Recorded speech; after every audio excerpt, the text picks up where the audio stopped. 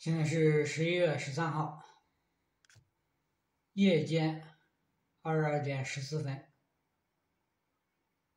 我在家中被江苏省邳州市贪官李全部团伙公开的残害七年多，残害从未停止，仍在继续，此时此刻正在继续。前两天，前三两三天，我被残害的不行，然后。去过医院，被拉回了家。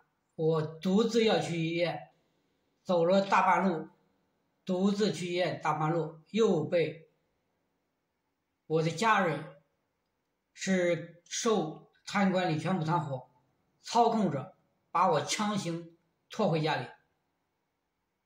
最后前两天，我再一次。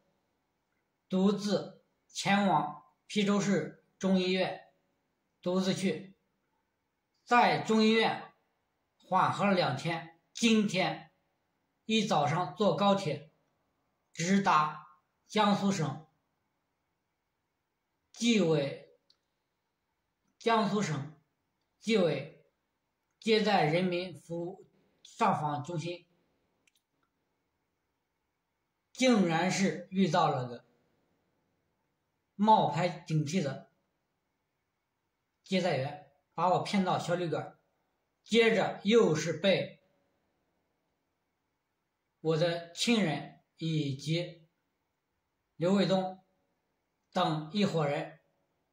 这次我直接顺从坐车回家，到家他们都离开，现在屋内又开始投放不明气体。各种不良反应，我被残害不是隔离，贪官李全部团伙的存在根深蒂固，隐情很多，地方黑暗。现在是二零二四十一 十四十一月十四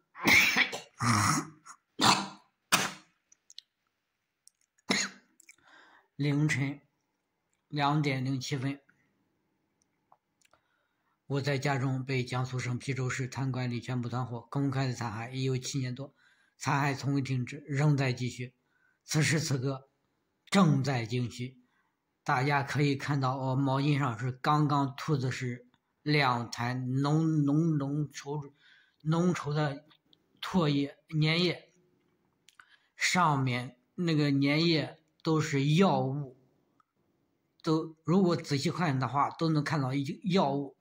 另外还有，这是前两天吐的血，两团脱两两团血，当时没有及时看见，因为当那是夜晚夜间吐的，这是前两天夜间吐的血，现在已经干了，但是血迹还在开，看见斑血迹斑斑。我被残害不是个例，贪官李 贪官李全部团伙的存在 根深蒂固，是现在是刚刚突然的疯狂的咳嗽。我被残害不是个例，贪官李全部团伙根深蒂固，隐情很多，地方很远。